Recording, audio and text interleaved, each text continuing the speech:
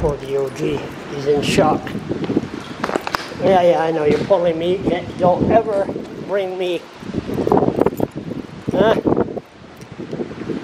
Wow. That head? I know. They're all over the place.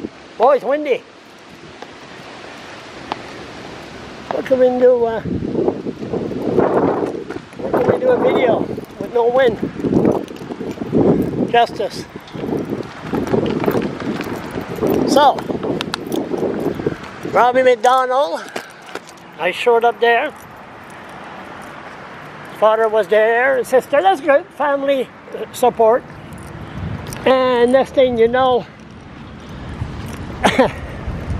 oh, I bought DOG with me. First time that we bring a dog inside a courthouse. Look, he's pulling me. He's so disgusted.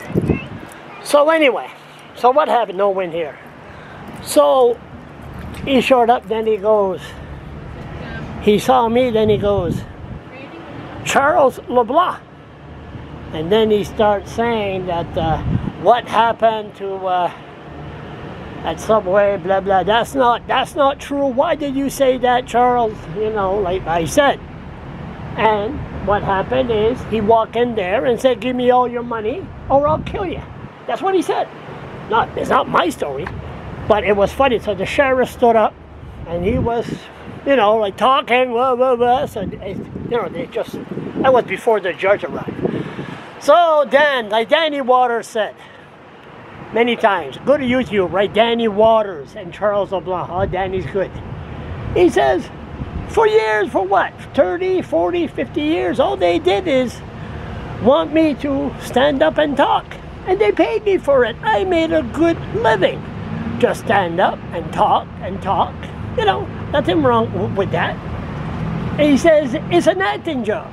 Prosecutor, uh, duty counsel, just go there and let, yep, yep, yep, yep, yep. He said the decision has already been made.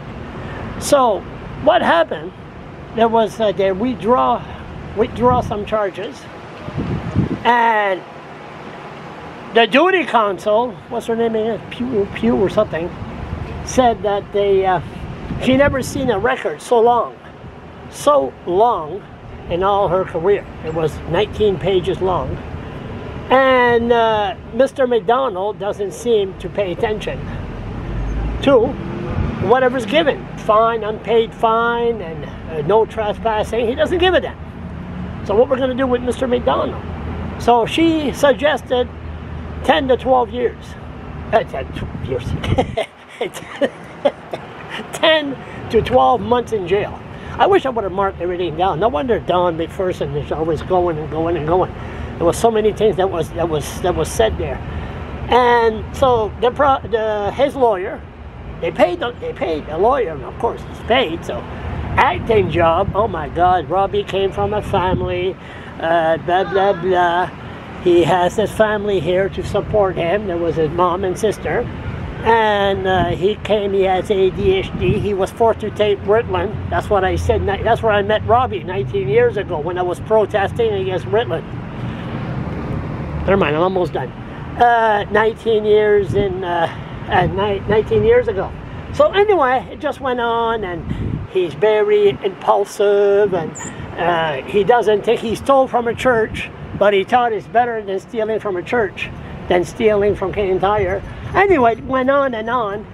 And so when it when the judge was spoke was spoke, uh, when he realized he was going back to jail, uh, he then then it started started to cry and started to you know oh I'm, I'm not going to live long.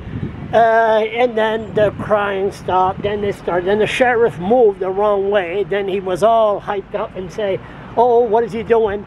He realized they were taking it back to custody. He said, well, I'm not going home. And they said, let me finish. So all the charges, they gave him 30 days, all the charges. And then uh, probation order, no contact with the people that's involved.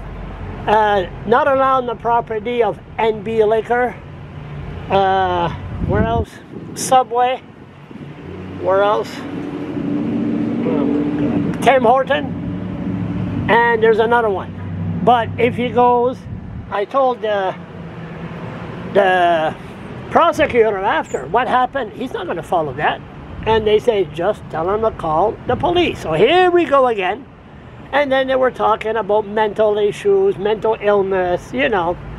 And there's no help, but you could only help a person. You could bring a person, a horse to water, right? I mean, it's the same thing. It, it go, it's all around town. But it was a acting job. Uh, he uh, he's going to be serving 40 days in jail.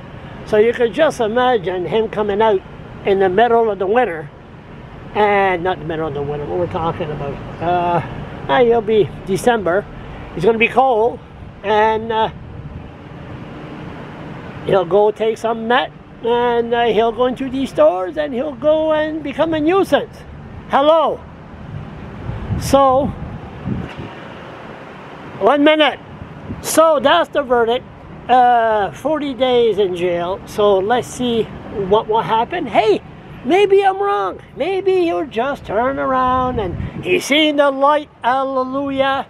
Like he'll go, whoops, sorry about that.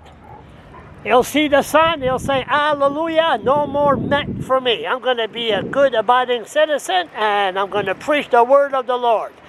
Never know.